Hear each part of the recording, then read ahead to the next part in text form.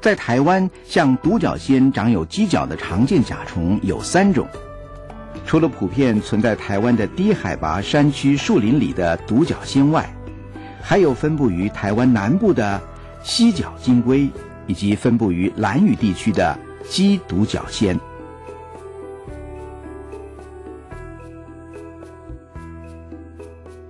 独角仙雄虫头顶有明显的犄角，因而得名。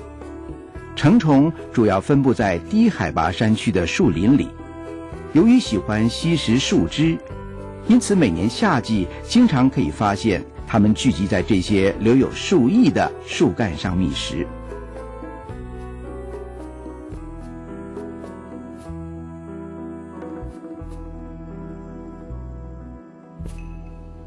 犀角金龟的外形相当特别，头部上方有一根无分叉的犄角。前胸背板凹陷，它们主要分布在南部地区，以屏东地区最为常见。只要仔细观察，椰子树林中翻翻这些枯烂的树干及表土，也可以发现它们的踪迹。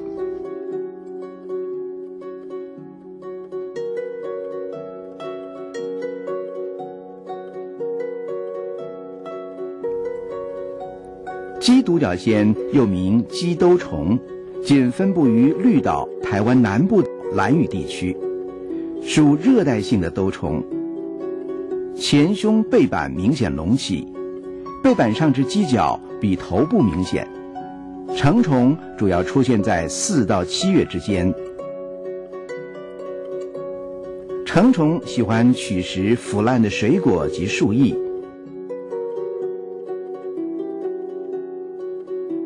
而幼虫则是生活于地底下，以腐殖土为食。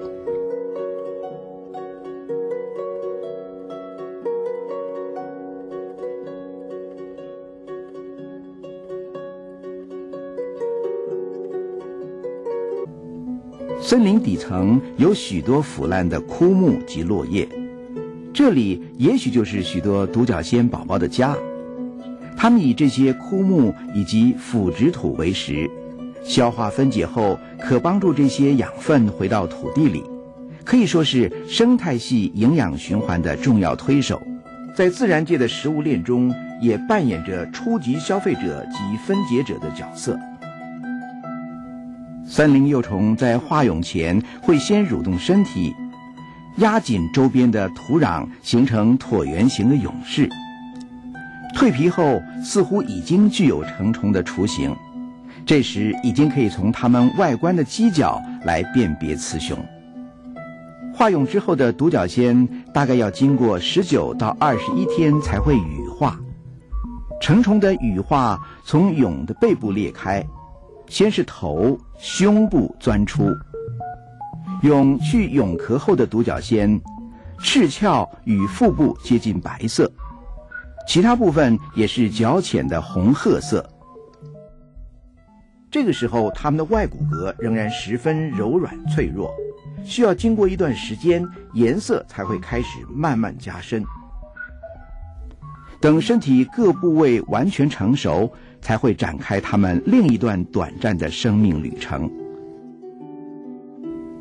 今天，自然生态的保育日益受到各界的重视。